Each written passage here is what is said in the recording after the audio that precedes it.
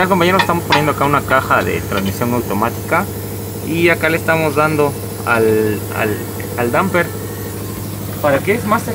Lo que estoy haciendo. Eh, ahí le está, le está usted girando al cigüeñal, a la polea damper del cigüeñal para coincidir las tuercas aquí de la turbina con la cremallera.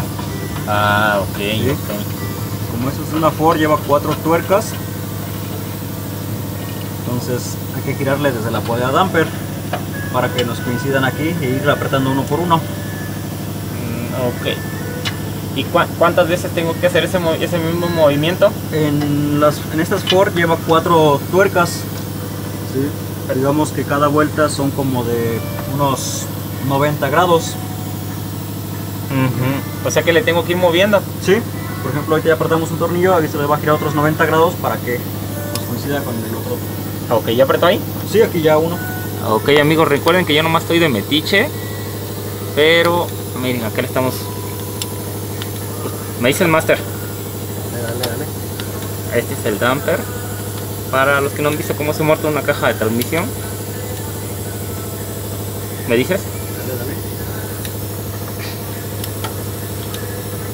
Así. Ok. Entonces, ¿cuántos pasos son los que hay que hacer así?